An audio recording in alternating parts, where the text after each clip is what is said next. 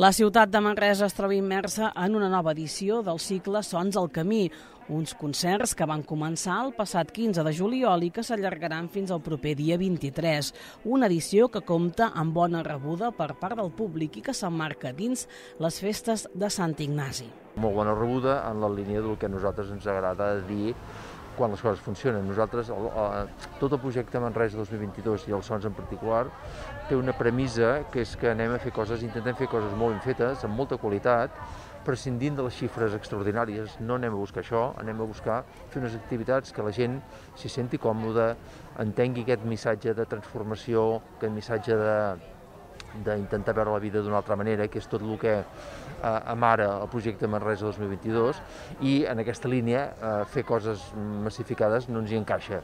Llavors, els sons sempre ha sigut, tot i que ha anat creixent, però sempre ha, sigut una, ha tingut una voluntat d'uns concerts amb gens massificats. Anem a buscar, doncs, en el millor dels casos, 500 persones, per dir una cosa, no? I a partir d'aquí estem assolint els objectius al 100%. Sons al Camí va començar el passat 15 de juliol amb un concert als Jardins de la Cova de Sant Ignasi.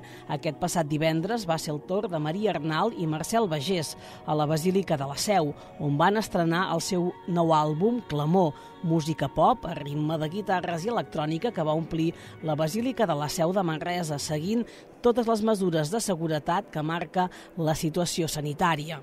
Una oportunitat també per redescobrir espais de la ciutat com són els jardins a la Cova de Sant Ignasi o la Basílica de la Seu, una activitat que també compta amb una vessant solidària seguint amb els valors de Sant Ignasi de Loyola. Aquest any Càritas, hem, hem anat eh, tastant diferents tipus d'entitats d'aquest àmbit de la solidaritat. Ens sembla que a mesura que ens acostem al 2022 doncs, van agafant potser més presència aquestes entitats de tota la vida que tenen aquesta xarxa i que ajuden a tantíssimes persones. I aquest any ens va semblar que Càritas Manresa era l'entitat per excel·lència que ho havia de fer, en vam parlar, ens hem entendre de seguida perquè no s'hauria entès d'una altra manera i per tant qui vulgui pot fer aquesta col·laboració solidària aquest any a Càritas Manresa. Sons del Camí arriba guany a la seva vuitena edició i ho fa sent una de les propostes d'estiu consolidades i de referència a la capital del Bages. Juntament amb les jornades gastronòmiques, la marxa del Pelegrí, hi ha un seguit de coses que jo crec que han vingut per quedar-se, com es diu, no? Els sons, a més a més, es fan en una època, que vinculat als festes de Sant Ignasi, aquesta segona quinzena de juliol, en què tradicionalment hi havia molt poca activitat a la ciutat, com si tothom estigués pendent ja de la festa major, no? I aquests últims anys, entre tot el que va vinculat a, les festes de Sant Ignasi i el Vibra Festival, que també es fa des de Cultura, hem aconseguit que el juliol li hem donat la volta, no?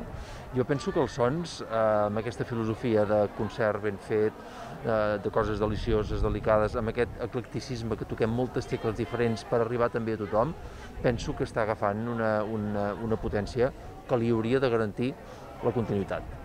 Sons del Camí, el cicle de músiques amb ànima seguirà fins al dia 23 de juliol, amb tres propostes musicals.